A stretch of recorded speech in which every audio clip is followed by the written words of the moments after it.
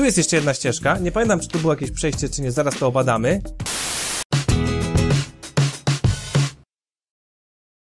Czołem ludziska z tej strony Staszek, a przed wami kolejny odcinek z Abduction, gry, która ładuje się dokładnie z zegarkiem w ręku 2 minuty i 3 sekundy i zajmuje prawie 5 giga ramu.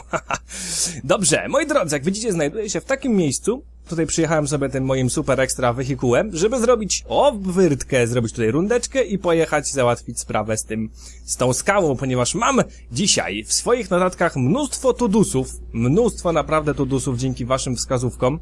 Mogę wam wymienić ich kilka, kilka rzeczy muszę odhaczyć, żeby wam tutaj rzeczywiście ogarnąć wszystko i zacząć jakiś progres dalej wykonywać, w sumie obojętne, w którą stronę pojedziemy. Więc tak, przede wszystkim muszę szukać teleportów. Niektóre są ponoć tak oczywiste, że aż lama bierze e, nogi za pas, jak widzi, jak ja po prostu tych teleportów nie wyłapuję. Jestem ciekawy, czy stąd mogę strzelić gdzieś, gdzie, żeby coś zepsuć. Zobaczcie, to jest miejsce, które wydaje mi się, że stamtąd będziemy mogli iść i tutaj ta platforma, tam był jakiś przycisk w ogóle, ta platforma prawdopodobnie spadnie i będziemy mogli kolejne przejście sobie zrobić, bo to dużo takich miejsc jest, że będziemy mogli sobie generować przejścia, tak? Więc szukanie przede wszystkim teleportów. Druga rzecz, powinienem zainteresować się też tą kulą, ponieważ przy tej kuli jest coś ciekawego, to sobie wynotowałem. I na pewno jeszcze okazuje się, że ten, ten numer, który wpisałem w panel, pamiętacie co, używaliśmy pale, panelu y, tych wilejnów, Muszę tego przestawić to tutaj teraz. Używaliśmy panelu Villainów i tam wyszła mi liczba 406. Okazuje się, że 406 jest dobrą liczbą, ale chciałbym jeszcze wyjaśnić jedną kwestię związaną z tym panelem. Prosiliście, żebym to sprawdził, więc to sprawdzę, udowodnię wam, że pewne kreski nie da się pewnych kresek usunąć z tego panelu. Czy można stąd spaść? Kurde, a liczyłem na to, że będzie jakaś akcja. Polecimy sobie w Ether uszyć mały sweter, ale się nie udało. Dobra, więc tak, zanim włączymy, to oczywiście chciałbym dostosować go o tutaj. O tu. Tu niszczymy, proszę bardzo. Oh yeah! I to jest właśnie zniszczona projekcja. Proszę bardzo, gdy jakimś cudem teraz uda nam się tam dojść, na dół, prędzej czy później mam nadzieję, że, mam nadzieję, że się uda, to sobie tam pójdziemy i ogarniemy sprawę. Dobra. Będziemy mogli już wejść do tej wnęki, więc teraz pojedziemy sobie tym moim stateczkiem, wehikułem z powrotem tak? Bo teoretycznie on nam już tu nie jest kompletnie potrzebny. Chyba nie musiałem w nic tu strzelać, ale pozwólcie, że jeszcze zrobię rundę i sprawdzę. Dobra, obleciałem wszystko. Na moje gusta nie można tam już było nic zrobić, ale i tak chcę jeszcze wrócić tam na piechtę, ponieważ chcę zbadać jedną rzecz, zaraz wam powiem o co mi chodzi. A mianowicie chciałem sprawdzić, czy rzeczywiście cały czas tam siedzi ten osobnik Arai. Ja go tutaj nie widzę. Myślałem też, że trafię go tym wiecie, tym beamem całym, ale chyba jednak średnio, średnio by trafiło. Nie wiem, czy go tam, że on tam cały czas ten robal siedzi, czy on tam nie siedzi. W każdym razie chciałem wam jeszcze pokazać te miejsce. Zobaczcie, tutaj jest jakiś przycisk. A to jest ten tył kuli, którą widzieliśmy z dołu, tak? Czyli ja tam skoczyć oczywiście nie mogę i wejść, ale jak zobaczycie, jak kliknę ten przycisk, ten tutaj, który w ogóle widzicie jest pod prądem, to prawdopodobnie to zjedzie i będziemy mogli wejść na górę. Ale na początku musimy się dostać tam na dół. Też myślałem, że jest w stanie, jestem w stanie dojść tutaj, jak sobie tak chodziłem i kombinowałem, ale jednak nie mogę tam dojść. To jest kupa rzęchu i złomu i nie da się tam niestety dostać. Niestety. Więc zostawiamy na razie tamten szczelacz. Spróbujmy na razie zacząć eksplorować. To jeszcze mam dużo rzeczy e, napisanych. Mam jeszcze ponoć zbadać bardziej lokację startową. Mam ponoć również zbadać skały za domem za domem e, tej, jak ona się tam nazywa, za domem Farley, więc w sumie jesteśmy teraz obok tego miejsca, więc może rzeczywiście spróbujmy obadać skały za domem Farley. Zobaczmy, dlaczego miałbym się skupić na tamtej przestrzeni, chociaż jeszcze widzę, że tu jest początkowa lokacja. Ja w niej byłem, nie zauważyłem nic interesującego, więc pozwólcie, że jeszcze raz obadam. Tak, w ogóle to przede wszystkim wielka piona, w szczególności dla Haru i dla Ari Games, bo oni tutaj pisali mi w komentarzach najwięcej przydatnych rzeczy, jeśli chodzi o samą grę. Chłopaki chyba przeszli już Obduction z tego co kojarzę, więc wiedzą co mówią, wierzę im na słowo. A, no i mówią, że warto przejść całe, tak? Warto, przejść całe, że dalej robi się coraz ciekawiej, że te zagadki, które teraz mamy, są tak naprawdę niczym w porównaniu z tym, co będzie nas czekać w przyszłości, ale mam nadzieję, że z waszą pomocą z waszym jakby, z waszą asystą damy radę, gdy rzeczywiście zatnę się jak i nie wiem, jak Norwek przy goleniu, nie wiem akurat dlaczego Norwek mi przyszedł do głowy, ale powiedzmy sobie, że, że tak. O, wspominałem wam w odcinku bonusowym, że widziałem tutaj resztki tego owocu, zobaczcie. No i to jest właśnie ten, e, jak, to, jak to tam było nazwane? Nasiono kolekcjonujące, tak? Chyba? W takim wypadku, bo nas tutaj zebrali. Mam ogarnąć rzeczywiście lokację początkową, no to faktycznie są jakieś cały czas jeszcze kamienie, zobaczcie, zawalone w tej szczelinie. Tak. Szczelina jak najbardziej jest, startowa tutaj. Ale ja tutaj, no naprawdę, na tyle na ile byłem w stanie eksplorować ją, to jedyna rzecz, która przykuła moją uwagę, to tak naprawdę jest to, że tutaj jest ta lampa, której w końcu przestała bujać się rączka. Te skały są specyficzne, tak? Mają kształt dość specyficzny, ale też nie widzę, żeby cokolwiek, żebym cokolwiek mógł z nimi, z tymi skałami zrobić. Oprócz tego, że mają rzeczywiście charakterystyczny wygląd. No dobra, badamy skały za domkiem. Proszę bardzo, oto są skały za domkiem. Oczywiście jest tutaj... Jest tutaj cały czas ten samochodzik, z którym nic nie można było zrobić. Choć wygląda jakby tutaj dużo takich elementów, które można byłoby na przykład jakoś rozebrać, kliknąć. I dużo takich jakichś tutaj, o, to wygląda jak można było zdjąć. Ale ja go chyba obklikałem ze wszystkich stron, od dołu też widzicie nic nie ma. I nie znalazłem nic ciekawego. Pytanie, czy ten samochód oczywiście skrywa jakąś tajemnicę? Czy nie? Być może ten element jest, jest istotny, zobaczcie, są jakieś tutaj, nie wiem, to jest jakaś kulka, to wygląda jakby były jakieś przyciski, tak? Nie mogę ich klikać, ale to może mieć znaczenie. To są na przykład puste te kółeczka, tak? Więc to jest jedyne, co zauważyłem. Znaczy, mówiliście skała za domem i początkowe, początkowa lokacja. No to w początkowej lokacji rzeczywiście była lampa, a tutaj mamy samochodzik, więc może chodzi o to, że powinienem po prostu zwracać uwagę na to, że są tutaj takie elementy interaktywne, z którymi, znaczy interaktywne, że mogę je zoomować, mogę je obracać, oglądać, tylko że niewiele to zmieniło. No nic tutaj widzę, że nie jest fajnego. To jest ściana, którą zbudowali. Tak na mapce widzieliśmy, że to jest ściana. Tam na górze można chodzić, jak znam życie, są też jakieś barierki.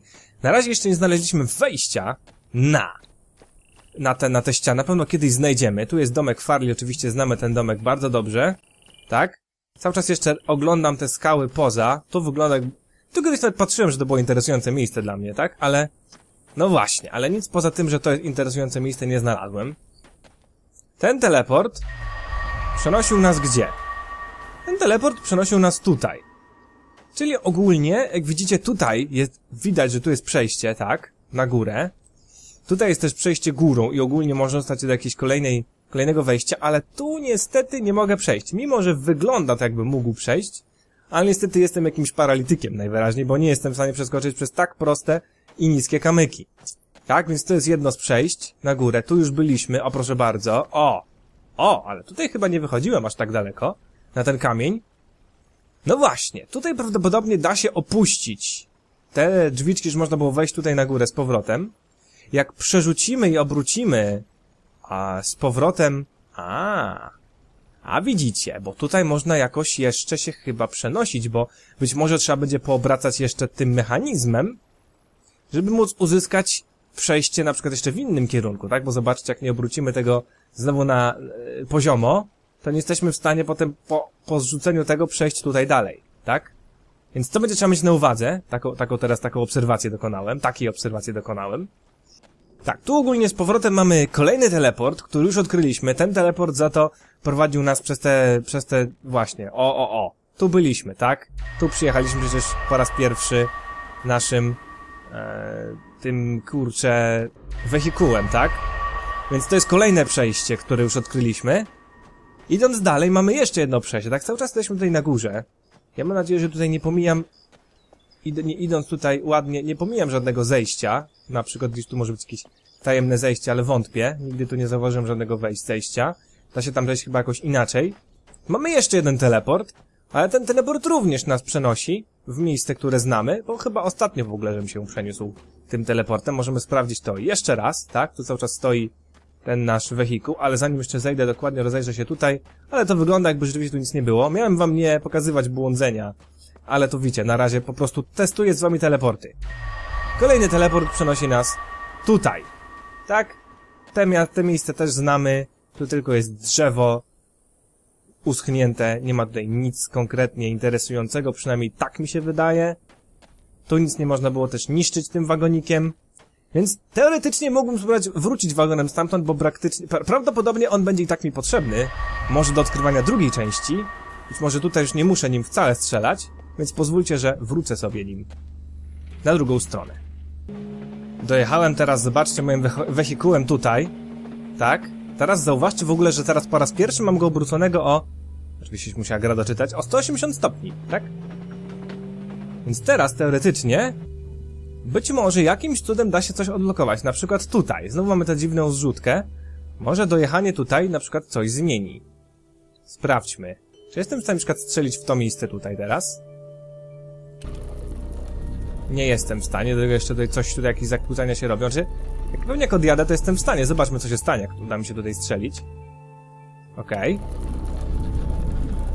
To raczej nic nie zmienia, chociaż chyba idealnie trafiam w szczelinę. Ło! Okej. Okay. Dobra, nie. Nic tutaj nie odkryłem nowego, jak widzicie.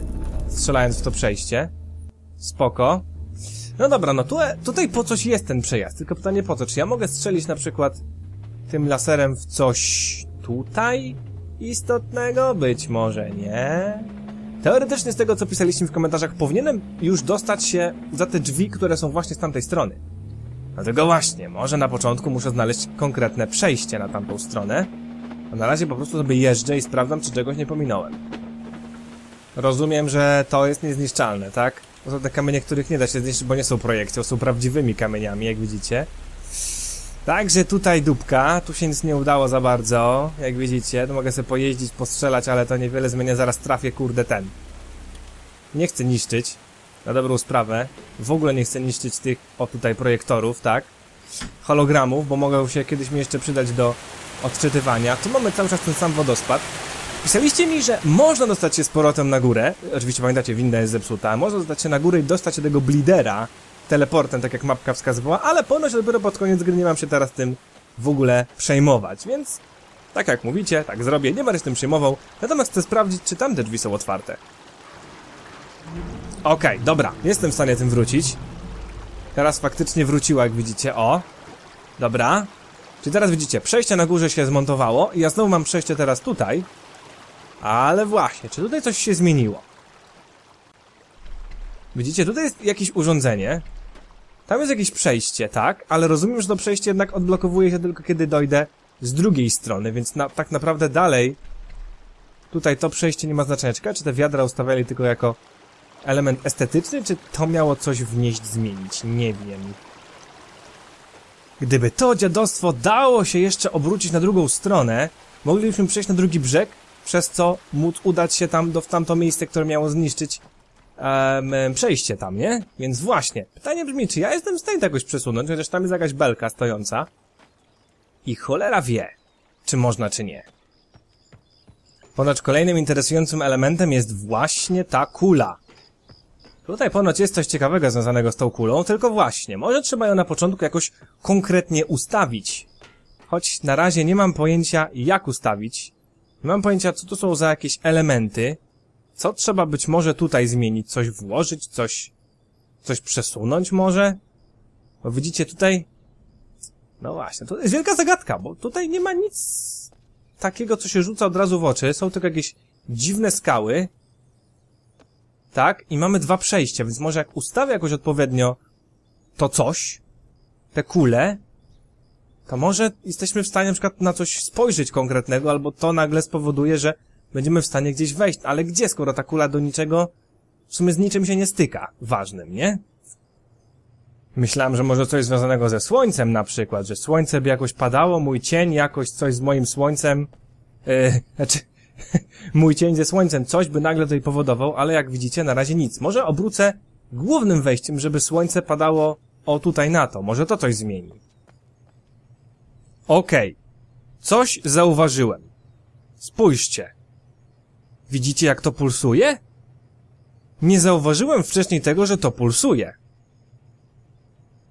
Ale też ciekawym jest to, że te nie pulsują. W sensie... Hm.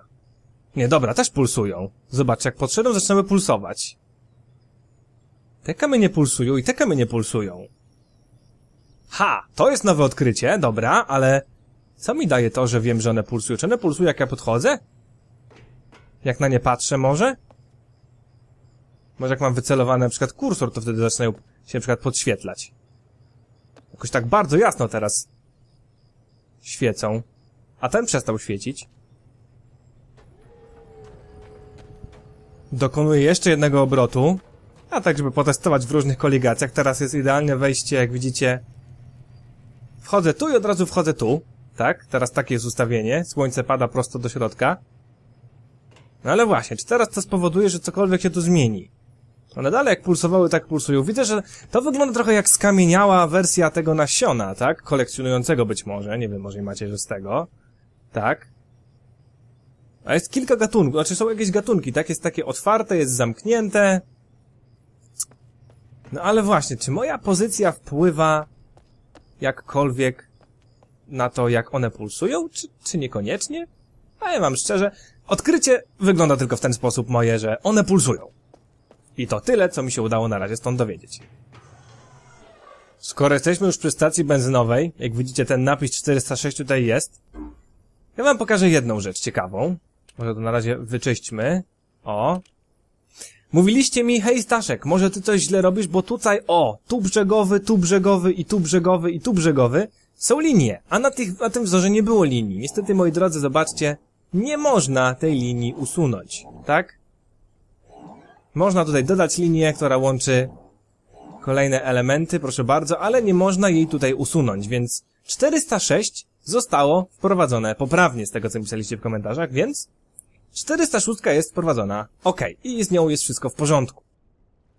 Na razie ja jestem w stanie ponoć odkryć więcej teleportów, a jak widzicie, na razie nie odkryłem żadnego dodatkowego. O, o! Ale zobaczcie, Araj odleciało.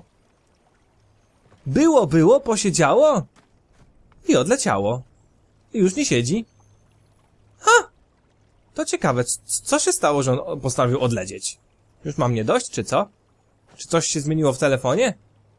Przez to? Wydaje mi się, że niekoniecznie. Jeszcze raz wpisałem ten numer, cały, w pełni. I powiem wam szczerze, nic się nie stało. Znowu, nic. Po co jest ten Operator Zero? To jest też ciekawe. W każdym razie, cokolwiek nie robię na tym telefonie, nic nie bangla, więc być może on zabangla w przyszłości. Pamiętacie to wejście tylne do domku, do domku Farley? To teraz jeszcze, jeszcze, jeszcze raz zbadajmy dokładnie przejście tutaj. Czyli tak, tutaj było dojście do Blidera, ale od tej strony, która nie pozwala nam tutaj wejść. Tu jest przejście, które teleportuje się łącznie razem z tym miejscem, gdzie był wodospad. Wydaje mi się, że tam było to przejście, ale tu jest jeszcze, przepraszam bardzo, tu jest jeszcze jedna ścieżka. Nie pamiętam, czy tu było jakieś przejście, czy nie. Zaraz to obadamy. Tak, tu było jeszcze jedno. O, i to może być to miejsce, którego jeszcze nie sprawdzaliśmy. Czyżby? Czyżby to jest to miejsce teleportu, którego jeszcze nie badałem? Tak! Łomatko! Ono tutaj pierdzielone było. Zobaczcie, jesteśmy z powrotem na górze. Chyba. Tu jest kolejne chyba przejście. Tak mi się wydaje, zobaczcie. A jednak! Ha! I zobaczcie, to jest to... Tak, to jest to miejsce, gdzie możemy chyba odwiedzić Blider. Czyż, czyż nie? Czy to jest to miejsce, do, w którym... Któremu teraz... Nie, zaraz. Yy, moment.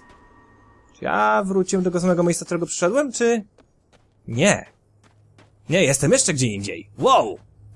Czyli tu są jeszcze dwa przejścia. Okej, okay, chyba jestem a, jestem na górze tutaj, od strony skrapiardu, dobra. Wiem, że tam jeszcze jest jedna rzecz do odkrycia, ale moi drodzy, wreszcie znalazłem.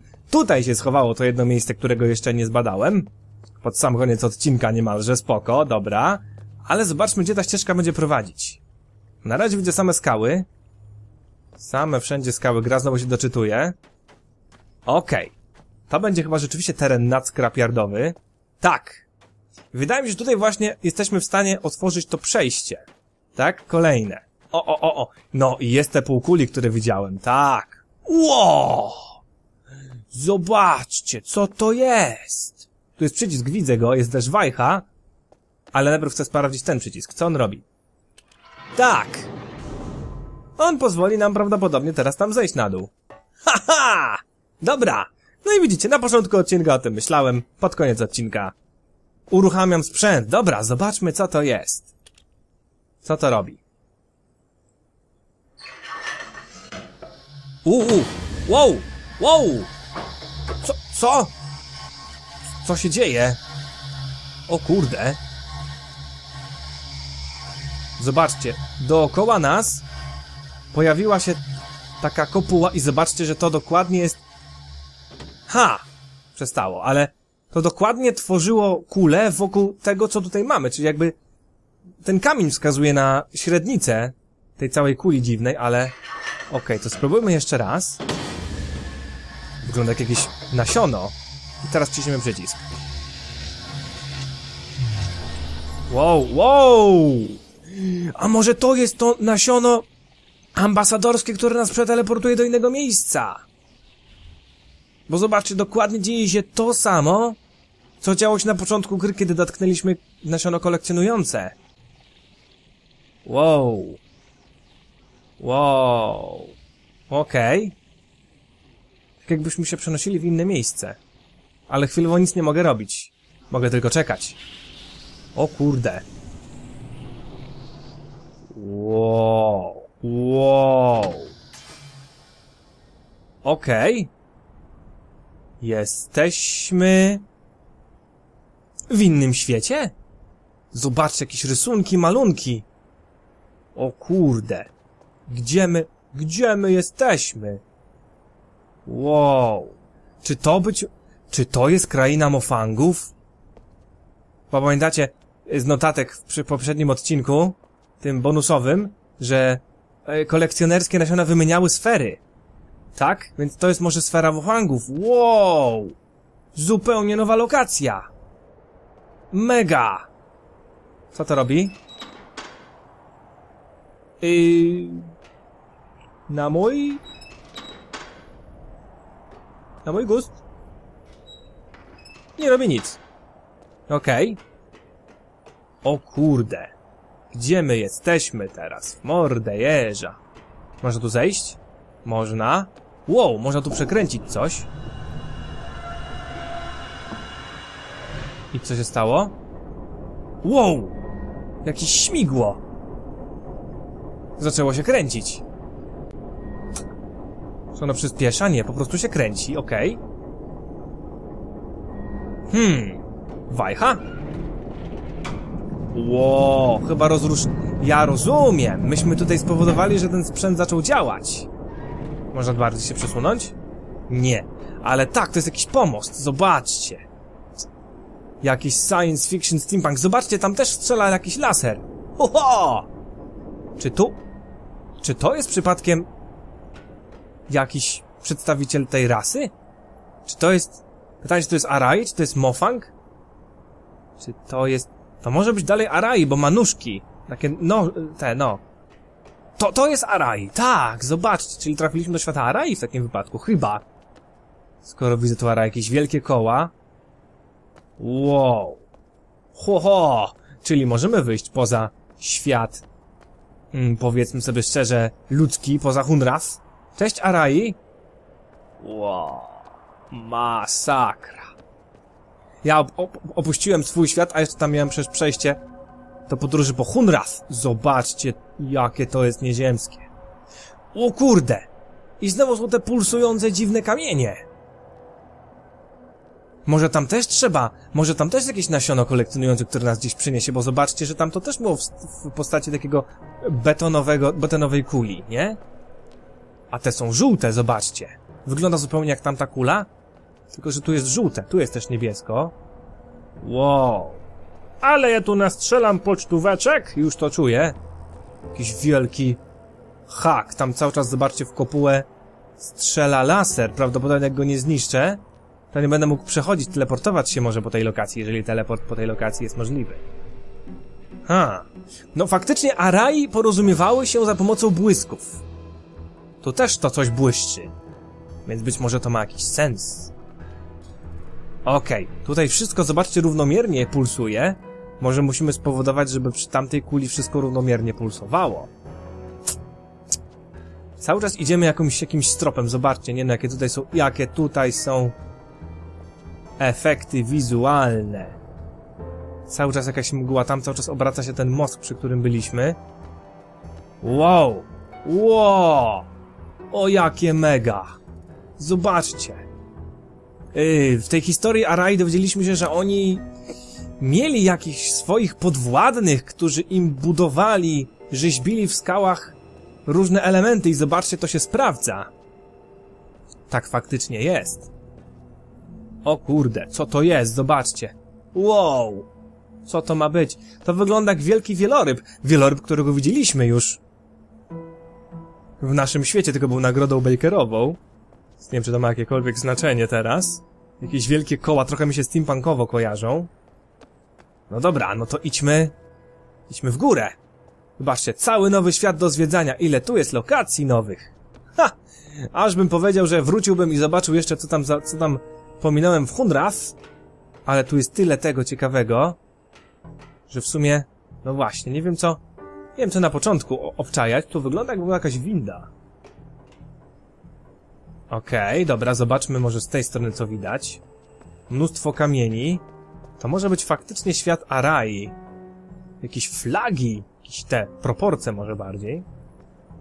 Okej, okay, zobaczcie, kolejna kula. Czy mogę wejść na górę? Sprawdzić co z góry? Nie mogę z góry, okej. Okay. Niech będzie. Może przejdziemy tędy. Coś tu jest! Ło! Mapa! Zobaczcie! Mapa świata w tym przypadku teraz Arai. Okej. Okay. To prawdopodobnie... Teraz tylko kurczę, jak tu się połapać, gdzie jesteśmy? Jest oczywiście drzewo w centrum. A żeby tak jak nie będzie się przycinało. Być może to jest to drzewo. Chociaż nie, to są po prostu drzewa. To centralne drzewo to jeszcze nie jest to, ale zobaczcie, tu jest kolejna...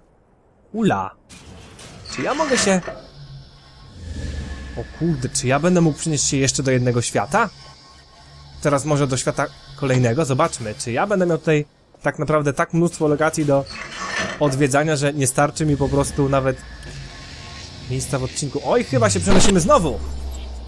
Tak, moi drodzy, robimy kolejny teleport! Tylko teraz pytanie, do którego świata? Może jesteśmy w stanie w, tym, w tej grze podróżować między wszystkimi czterema światami, czyli ludzkim, Arai, Mofangów i Wilejnami. To rzeczywiście byłoby mnóstwo miejsca do eksploracji, a ja pomyśleć, siedziałem jak taki po prostu Zbigniew w jednym miejscu, myśląc, że nie ma wejścia, wejścia, czy dojścia gdzie indziej. Zobaczymy, gdzie nas to przeniesie, bo jak się okaże, że to jest kolejna lokacja, to nie ma sensu tak chaotycznie ich zwiedzać. Trzeba by zachować jakąś logiczną spójność, może. Dobra, coś się dzieje. Długo to cholernie trwało, ale jesteśmy chyba gdzie indziej znowu. A! Nie, moi drodzy, wow! Ło kurde! Wróciliśmy do Hunrath! Czy rzeczywiście tylko są sparowane światy, po których można podróżować? Na razie, na razie wygląda na to, że tego dwa światy. Zobaczcie! Odbudowaliśmy być może jakiś sposób część świata, bo zobaczcie, tutaj była wykopka. Jesteśmy w mieście, w tym domku tutaj, tak? W którym przed chwilą tutaj przecież była zniszczony teren był, a teraz mamy teleport do świata, do świata e, tych, Arai. Dobra, moi drodzy, wybaczcie mi, ale ja chcę zachować jakikolwiek najmniejszy sens e, i logikę podróżowania tutaj, więc pozwólcie, że ja oczywiście sobie zrobię jeszcze tutaj zdjęcie tego ładnie. Wrócę, na razie skoro wiem, że znalazłem kolejne przejście tutaj i w świecie naszym, czyli Hunrath, to może ja spróbuję się dostać na tyły jeszcze raz tego domku i spróbować jeszcze obadać to drugie przejście tutaj w naszym świecie. No dobra, wracamy do miejsca teleportującego, tak? Przed którym przed chwilą byliśmy. I zobaczmy jeszcze, czy jesteśmy w stanie tutaj coś kombinować dalej, tak? Czyli w naszym świecie. Czy tu jest jakieś przejście? Mam nadzieję, że teraz będzie przejście o to, czyli ja teoretycznie powinienem wrócić, obrócić to dziadostwo z powrotem, skoro już odkryłem teleporty i wrócić, ale tutaj mamy kolejne przejście, jeszcze jedno, wow! Czy może, czy może to jest to samo, tylko ja po prostu wszedłem dalej. Zaraz, powiedzcie, powiem sobie szczerze, że to muszę sprawdzić. To jest cały czas ten sam teleport, czy to już jest inny teleport? Eee, nie, to jest dokładnie ten sam, tylko że dalej przeszliśmy, tak? Więc cały czas obracamy się wśród jednej, jednego teleport, te, teleportującego przejścia i rozumiem, że tak. Tu będę musiał, mhm. Mogę to zrobić od początku, tak? Czyli obrócić to i wtedy mamy od razu zejście. I mamy, możemy już teraz podróżować o wiele sprytniej, jak widzicie. Tylko będę musiał zamknąć sobie przejście tu, ale tak powiedzmy sobie szczerze, korzystam z teleportów bardziej niż, niż z tego przejścia. Zobaczmy natomiast, co jest tutaj. Czy tu jest kolejne przejście? To wygląda jakby było przejście na kolejny teleport. Wow! Tak! To kolejne przejście. Jesteśmy, jesteśmy z drugiej strony. Też badałem to przed chwilą, dosłownie. Z dołu. Widziałem te balustrady zabezpieczające. Czy tutaj jest dojście do wieży? Być może. Tu jest dojście do wieży. Tutaj mamy... Ło! Kolejny teleport. Zobaczcie. Tylko, że ten o dziwo zarósł i chyba jest nieaktywny. Czy jest? Wow! Nie, zobaczcie, to zupełnie, zupełnie inaczej wygląda to. Więc jak znam życie, to jest teleport do jeszcze innego świata. O Jezu, ile tych teleportów tu jest. Dobra, zostawiam na razie. Nie chcę na razie teleportować się do innego świata, czy gdziekolwiek mnie to wyniesie, dopóki nie zbadam dokładnie lokacji tutaj, więc na początku pójdę tędy, do Blidera, obczaimy... Tylko Blider nie ma polskiej nazwy, nie mógł ktoś go nazwać, nie wiem, krwawiący... Grzebień, mam powiedzieć, Krwa... krwawiący, krwisty kamień, krwawiący kamień, cokolwiek? Aha, czyli tutaj możemy dojść do Blidera, ale tylko na zasadzie takiej, że przechodzimy do końca skały i już, i już, tyle. Więcej nie ma, czyli tutaj jakby ślepy zaułek jest, ale być może ta droga doprowadzi nas do wieży. Ja wierzę, że to nas doprowadzi do wieży. Tutaj mamy kolejny teleport, trzeba o tym pamiętać. Może sobie to jakoś... Proszę bardzo, jeszcze zapamiętam na zdjęciu. Te zdjęcia oczywiście dalej, mimo że był update 1.01 się teraz nazywa, dalej zdjęcia nie działają jak powinny. Tak? A przynajmniej nie działały. Zobaczmy. No zobacz, dalej jest ciemno. Tak? Ale poprawiło się jedno, zobaczcie. Przede wszystkim zdjęcia są już... A, jest poprawa, zobaczcie. Wszystkie zdjęcia są klikalne. Ale nie wszystkie zdjęcia dobrze się zrobiły. Dobra, jest poprawa, zwracam honor. Miniatury pasują do robionych zdjęć. Tu robiłem jakieś zdjęcie, oczywiście nie wyszło. To jest strasznie ciemne, to jest... No właśnie, zobaczcie jak one są strasznie ciemne. O! To już robiłem z daleka, tu było bardzo naświetlone to miejsce. A na zdjęciach nie jest. Kurde, dalej nie warto robić tych zdjęć w takim wypadku. Jak widzicie, był update 1.01. Dobra. Czyli rozumiem, że teraz jesteśmy nad domkiem Farley, że tędy dojdziemy do wieży. Ale pytanie, czy wieża jest otwarta? I czy to faktycznie jest droga do wieży, bo na razie tak wiem, wiecie, strzelam. Ale tak to wygląda, bo to pasowało mi do... do wyglądu tego przejścia z dołu. Więc być może to też jest teleport, zobaczę, tylko jest nieaktywny. Ale tutaj chyba faktycznie dochodzimy i nie wiem, czy to nie jest to miejsce, które było oznaczone na tej mapce e, w domku Farley jako ta kropka. Pamiętacie, ta wielka kropka i mała kropka. Tylko teraz... Czy ja jestem w stanie tu wejść? Co to jest za czytnik? O! Czytnik! Pierwsze, co mi przychodzi na myśl, to 406. Serio? Ależ ja jestem genialny, Smart Modon! Ale to po prostu pierwsza myśl i proszę bardzo, pierwszy pomysł i to jest kod do wejścia do wieży. A to pewnie jest wyjście z wieży. Zaraz zobaczymy, czy to jest to wyjście na drugą stronę. Nie, to wyjście pro... A! Tak jak pisaliście. Tak, moi drodzy. Ja powinienem był już mieć możliwość wejścia do tej, do tego miejsca za drzewem, bo tu jest drzewo. Pamiętajcie, tu jest drzewo, więc rzeczywiście mam teraz przejście tutaj. Okej, okay, okej, okay, to jest tak, to jest ten cały teren zupełnie nowy, to wygląda jak siedzisko prezydenta. Ha, to wygląda jak symbol zjednoczonych dwóch światów, chociaż nie, to jest dalej nagroda dla wspierających. Jakiś posąg, też nagroda dla wspierających, okej, okay, czyli rozumiem, że to nie jest interesujące, skoro jest nagrodą, co to jest to. To też jest nagroda dla wspierających. Jezus Maria. To jest przycisk? Nie, to jest jakiś kompas, okej. Okay. To jest kompasik. Po prostu. Kompasik jest nagrodą. W porządku. Wow! Patrzcie. Kolejna...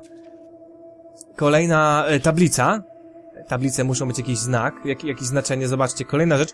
For may all your doors stay open. Niech wszystkie twoje drzwi zawsze stają otworem. Bardzo byłoby miło, gdyby rzeczywiście w tej grze tak było. A rozumiem, że to jest wyjście. Tak. To jest wyjście do tej magicznej kuli, która prawdopodobnie musi być dobrze obrócona, plus muszą zajść jakieś efekty, żeby można było się teleportować. Ale teraz zobaczcie, mamy tyle poodkrywanych nowych rzeczy, Mamy kolejne notatki do czytania, że naprawdę jest nieźle. Zobaczcie, John Farley, Karl Hunrath, może to od jego imienia, zobaczcie, od zera, od tego liczą. Aha, może to są before hours, after hours? Strzelam, tak mi to pasuje, że to są godziny liczone before i after, nie wiem. Benjamin Sims, Caroline Farley, Joseph Peter Jansen, present, czyli on jeszcze żyje. Może to są rzeczywiście godziny. To są maj wszyscy majorowie tej, tej lokacji. Mamy kartki. Wow! Vote for Ho Josef. Czyli to musi być po prostu wieża, w której burmistrz prawdopodobnie rezydował, ale mamy kartki. Zobaczmy, co jest na pierwszej kartce. Okej. Okay. To może być związane coś z Bliderem. Część 2 z 2, okej. Okay. I to jest część, panie burmistrzu, na pana polecenie. Dobra, możesz sobie to przeczytać, oczywiście będę to też może czytał w przyszłości. Oczywiście jeszcze powinienem zrobić jedną rzecz. Powinienem zrobić temu zdjęcia, choć boję się, że tak naprawdę zdjęcia będą za małe i tak będę robił screeny po prostu tego i wrzucał wam. Oczywiście, jak zwykle na grupie. Pamiętajcie, że po każdym odcinku, czy jak będziecie co jakiś czas sprawdzać te moje zdjęcia, które wrzucam wam na grupie, to będziecie widzieć, że dodaję cały czas nowe, bo nie wiem, czy Facebook powiadamia was o tym, że ja dodaję te rzeczy. Dobra! Więc moi drodzy, odkryliśmy naprawdę niesamowicie dużo rzeczy. To wygląda na windę. Winda, która może jeździ. Więc to będziemy odkrywać tę wieżę, bardziej ją jakby penetrować, bardziej ją eksplorować w przyszłym odcinku, żeby ten nie wyszedł znowu gigantycznie długi. Dziękuję wam bardzo, jeśli wam się podobało, zostawcie lajka. Zobaczcie, że robi się naprawdę coraz, coraz ciekawiej. Jak mamy już dostęp do innych światów, to naprawdę może być całkowicie, całkowicie duży mindfuck niebawem. Więc yy, wielka piona, trzymajcie się do zobaczenia w kolejnym odcinku, mam nadzieję, że jak najszybciej, czyli za trzy dni. Trzymajcie się, cześć!